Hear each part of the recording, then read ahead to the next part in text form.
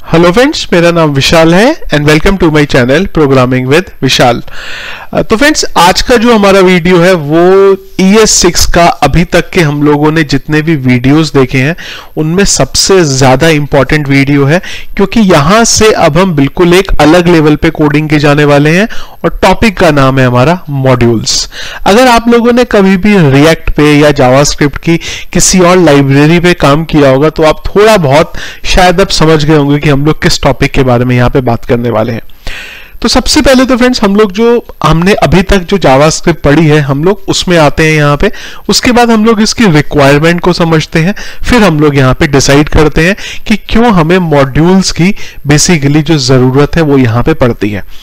तो normally friends अगर हम लोग ट्रेडिशनल एप्लीकेशन की बात करें जावास्क्रिप्ट की जब मैं बोलता हूँ तो जब आप एक्चुअल में प्रोजेक्ट बनाते हैं आपके तो आपका प्रोजेक्ट में बहुत सारा कोड होता है और जावास्क्रिप्ट की आपके पास बहुत सारी अलग अलग फाइल्स होती हैं।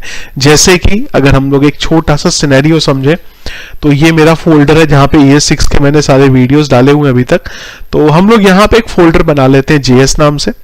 और मैं कुछ यहाँ पे जावास्क्रिप्ट की जो फाइल्स है वो बना लेता हूँ, क्योंकि जब हम एक्चुअल में प्रोजेक्ट बनाएँगे तो इसी तरीके की हमें फाइल्स जो है उनकी रिक्वायरमेंट होती है। तो मैं एक बोल देता हूँ फ़ाइल वन डॉट जीएस इसी फ़ाइल की मैं कुछ यहाँ पे रेप्लिका बना दे रहा हूँ। दो बना लेते हैं खाली। इनसे आपको जो मोर ओवर जो है यहाँ पे पता चल जाएगा। मैं क्या आपको समझाना चाहता हूँ।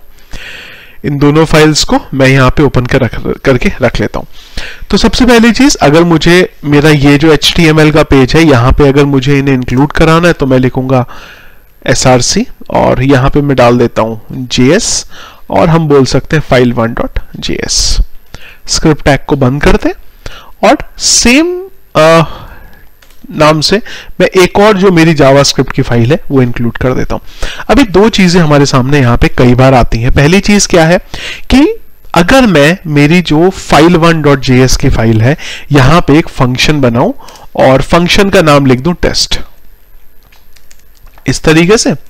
और एक और रेप्लिका बनाए, इसको थोड़ा सा अलग तरीके से कर लेते हैं file one under underscore test और इससे मैं बोल देता हूँ फ़ाइल वन अंडरस्कोर हेलो और इधर भी मैं कुछ फ़ंक्शन बनाता हूँ यहाँ पे फ़ाइल टू फ़ाइल टू अगर आप देखें तो हमने यहाँ पे दो फ़ंक्शन बनाए हैं और यहाँ पे मैं बोल देता हूँ कंसोल डॉट लॉग और इधर मैं ये चीज़ डाल देता हूँ और यहाँ पे मैं ये डाल देता हूँ। सिंपल है, कुछ मुझे नहीं लगता आप में से किसी के साथ भी कोई प्रॉब्लम होगा कोड को समझने में।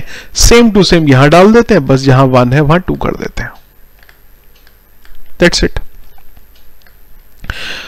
तो हमने अलग अलग फाइल्स के अंदर हमारे अलग अलग फ़ंक्शन बना लिए और अब अगर मुझे किसी फ़ंक्शन को कॉल करना हो यहाँ पे तो हम कुछ इस तरीके का कोड यहाँ पे जो है बना लेते हैं।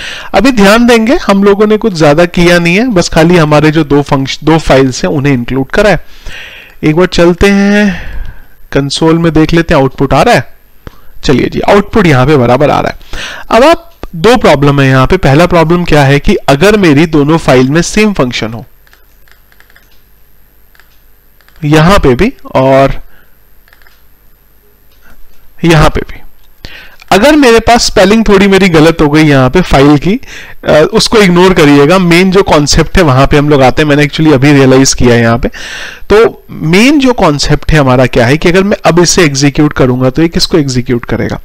जब हम लोग कोड बनाने जाएँगे यहाँ पे, हमारे हो सकता है जावा के अंदर मल्टीपल फ़ंक्शन बन जाए सेम नाम से। क्योंकि जब आप प्रोजेक्ट को बनाने जाएँगे, वो टाइम पे आपके साथ हो सकता है कि अलग अलग डेवलपर आपके सामने काम कर दें एक प्रॉब्लम ये आया हमारे सामने।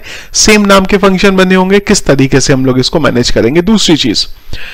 हम लोग एक बड़े प्रोजेक्ट के बेस पे यहाँ पे थोड़ा सा एज्यूम करते हैं इसे। अब हो सकता है कि हमारे इस प्रोजेक्ट में ऐसे 50 फ़ंक्शन बने हुए हो। और हमने ये जो 50 फ़ंक्शन यहाँ पे बनाए हैं, ये एक एक तरीके से हमने हमारी लाइब्रेरी बना ली है। और जब भी हमें कोई प्रोजेक्ट बनाना होगा तो हम ये लाइब्रेरी को वहाँ पे इंक्लूड करा लेंगे। अब हो सकता है मैं ये चाहूँ कि किसी स्पेसिफिक फ़ंक्शन को मैं किसी और को कॉल ना कराने देना चाहूँ। मैं चाहता हूँ कि मेरी ये फ़ाइल को खाली मैं इसी फ़ाइल के अंदर एक्सेस कर सकूँ, इस फ़ाइल के बाहर इसे कोई भी एक्सेस ना कर सके। हमारे सामने यहाँ पे कोई भी पॉसिबिलिटी नहीं है इस चीज़ को करने की। दूसरी चीज़, थोड़ा सा आप चेंज करेंगे। लेट से मैं एक वेरिएबल बना लू x is equal to ten और इस फ़ाइल के अंदर इस वेरिएबल को कॉल करा लू। इस तरीके से कंसोल डॉट लॉग दिस अब यहाँ पे देखिएगा file one dot JS file two dot JS और अब अगर मैं ये फ़ंक्शन को कॉल कराऊं तो आउटपुट देखते हैं क्या करेगा? ये फ़ंक्शन आपको आउटपुट दे देगा टेन बिल्कुल ठीक है। लेकिन अगर अब हम लोग यहाँ पे जो इसका थोड़ा सा प्रोसेस है चेंज करें और एक फ़ाइल और डाल दें।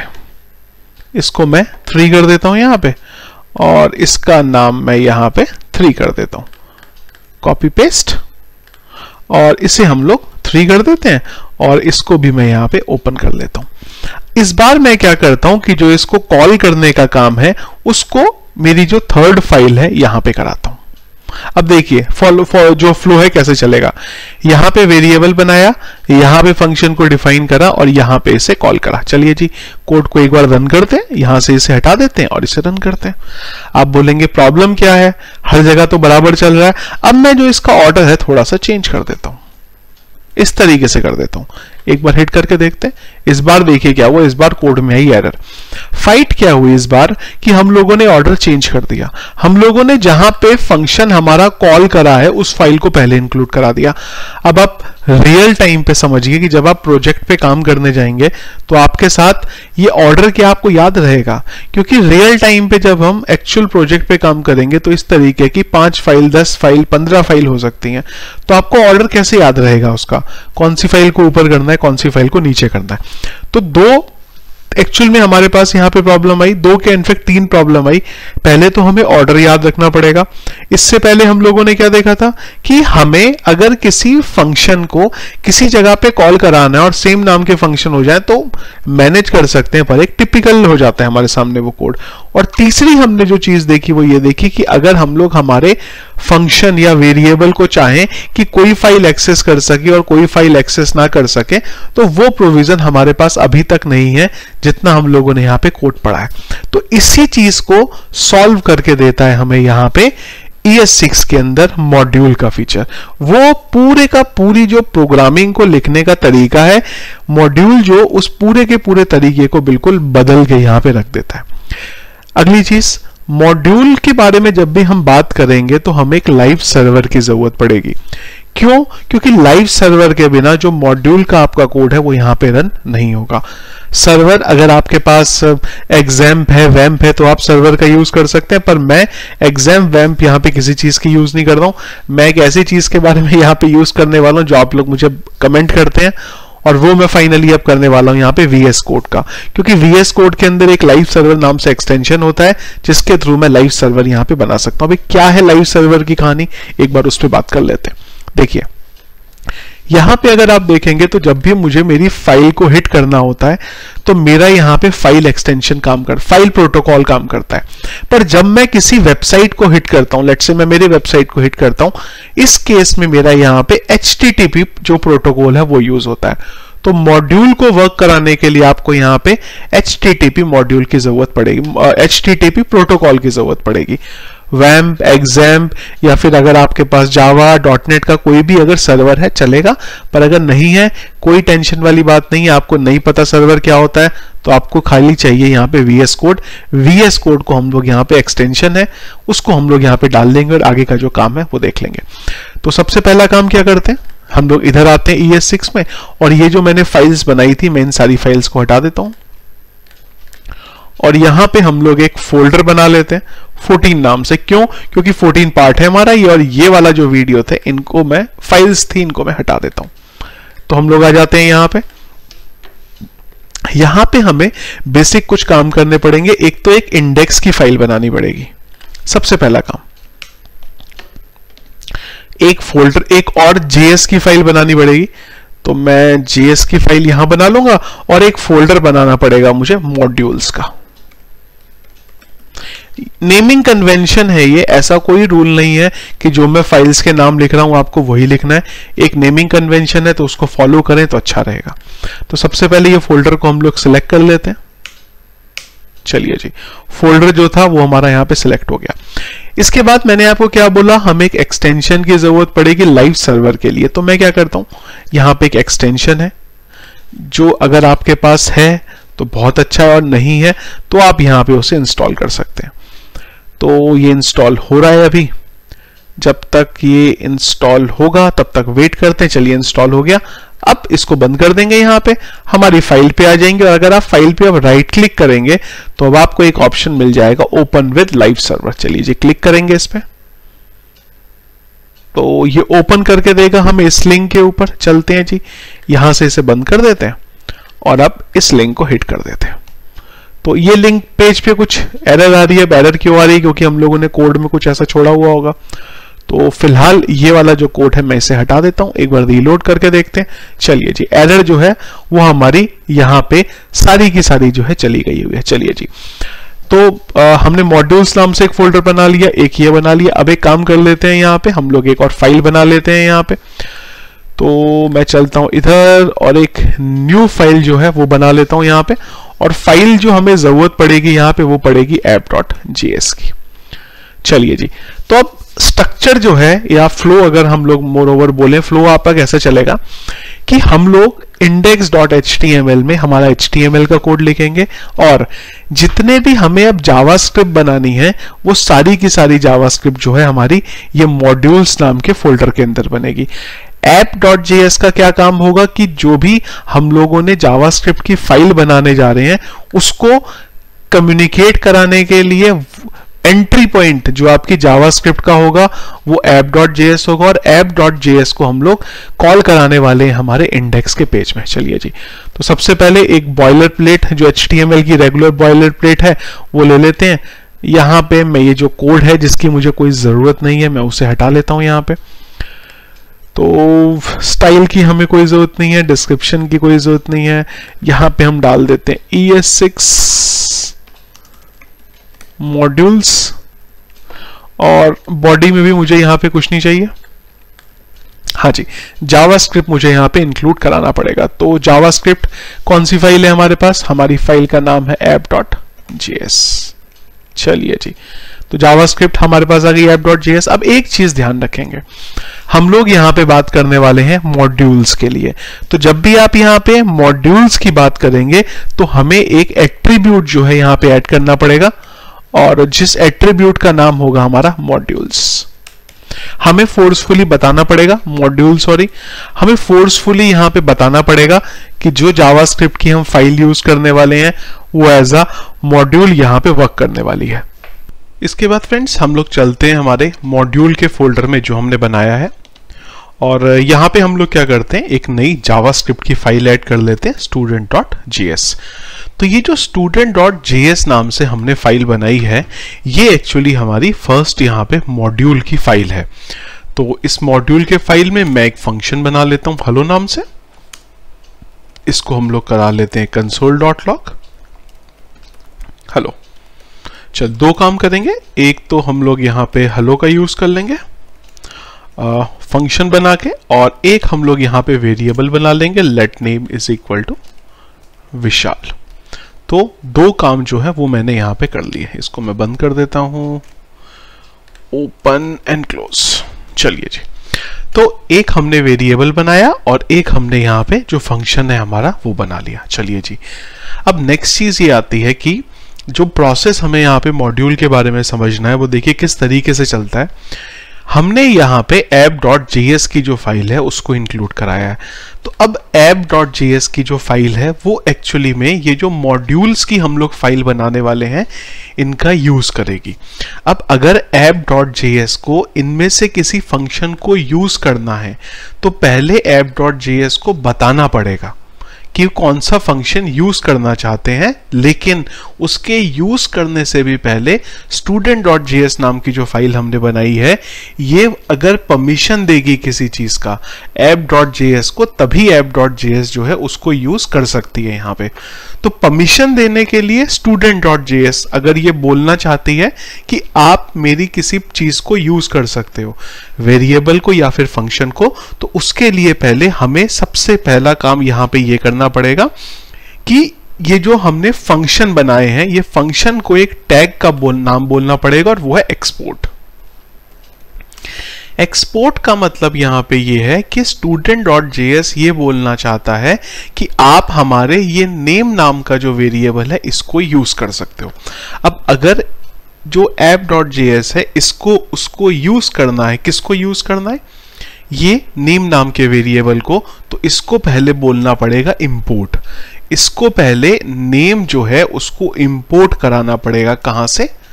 फ्रॉम अब फ्रॉम में हमें पार्ट डालना पड़ेगा तो ये कहाँ पड़ा है? हमारे मॉड्यूल्स फोल्डर के अंदर. मॉड्यूल्स में कहाँ पे पड़ा है स्टूडेंट डॉट जेएस के अंदर. तो अब ये जो हमारा प्रोसेस है, यहाँ पे हमने बोला कि स्टूडेंट डॉट जेएस से हमें नेम नाम का जो वेरिएबल है, उसको एक्सेस करना है।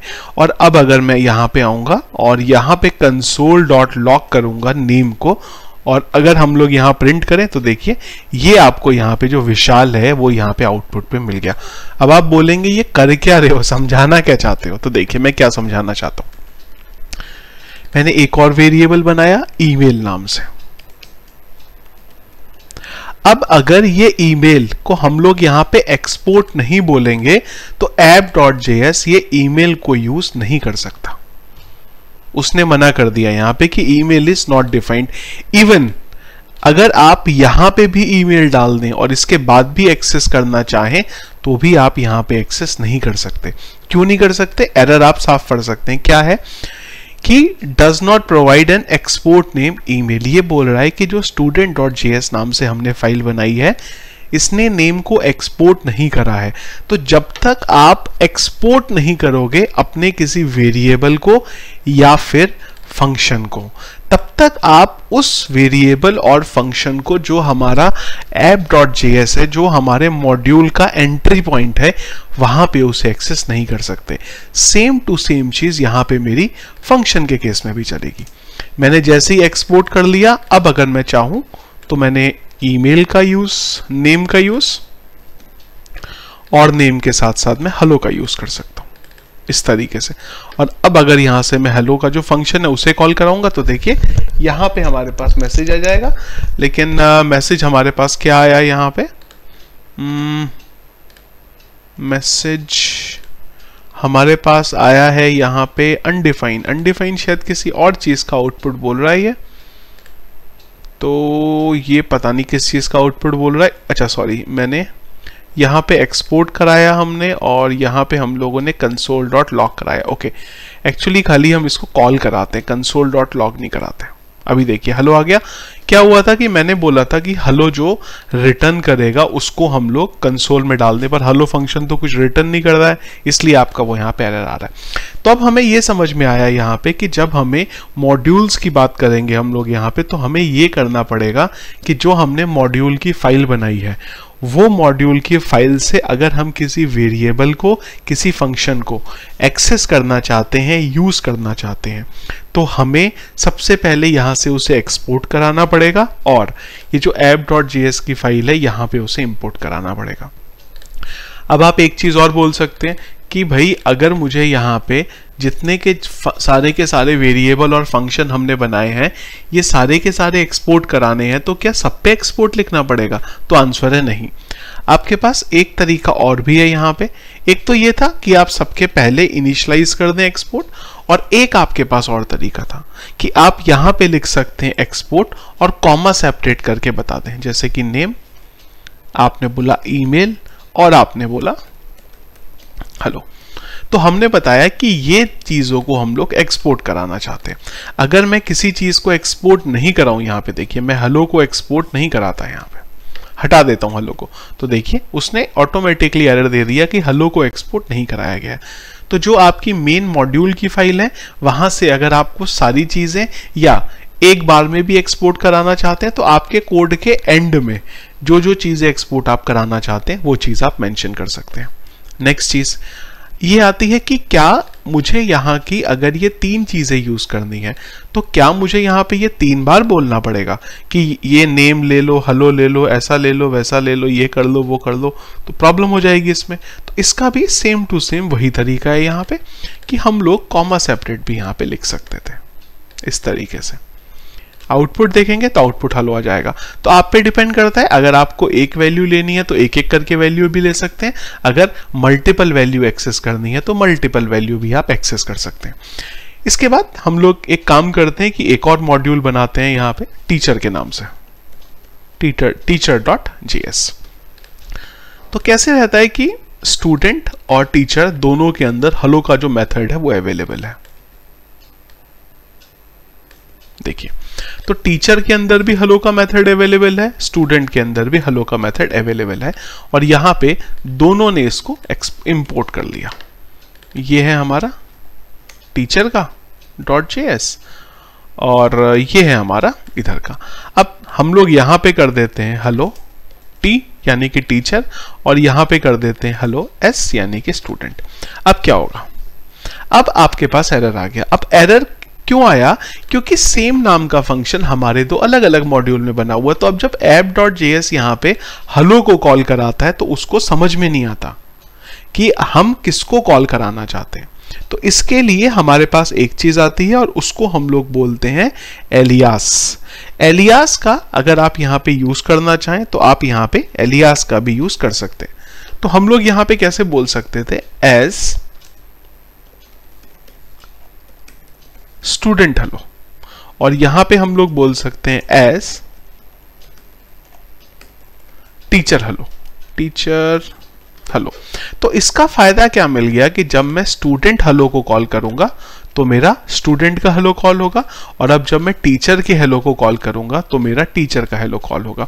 तो ये हम लोग यहाँ पे एलियास का यूज़ कर दें कि जो स्टूडेंट के अंदर हेलो है, उसको कॉल कराएँ स्टूडेंट हेलो से और जो टीचर के अंदर हेलो है, उसको कॉल कराएँ टीचर हेलो से। अगर मैं अभी भी हेलो को कॉल कराऊं तो क्या होगा? तो आपके सामने इस बार ये बोलेगा कि भाई हेलो नाम से अब कोई फ़ंक्शन बचा ही नहीं, क्योंकि ये इसका एक तरीके से ऐप डॉट के पेज में इसका नाम ही चेंज कर देता है। और नाम चेंज करके वो इसकी जगह पे ये कर देता है जो उसने यहाँ पे अप्लाई किया है। इसके साथ एक चीज़ और भी आती है यहाँ पे एलियास के केस में। कि अगर आप चाहते हैं कि यहाँ पे हम टीच स्टूडेंट पे आते हैं, हम चाहते हैं कि हम स्टूडेंट ने जितनी भी चीज़ें एक्सपोर्ट करी हैं, सारी की सारी चीज़ों को यूज़ कर ले। तो वो भी हम लोग कर सकते हैं। उसके लिए यहाँ पे हमें यूज़ करना पड़ता है बेसिकली स्टार का। तो स्टार आपने एसक्यूएल क्वेरी में पढ़ा होगा। तो यहाँ पे हम लोग बोल सकते हैं star as let's S T U तो ये क्या करेगा अब? सारी की सारी चीज़ें जो भी एक्सपोर्ट करी हैं जो भी एक्सपोर्ट करी है स्टूडेंट ने, वो सारी की सारी ऑटोमेटिकली एक साथ यहाँ पे एस को दे देगा। तो अब अगर मुझे इसके वेरिएबल का नाम चाहिए लेट से नेम चाहिए तो मैं बोल सकता हूँ यहाँ पे डॉट नेम कुछ इस तरीके से। इनफैक्ट इसको हम लोग कंसोल डॉट लॉक कर देते हैं।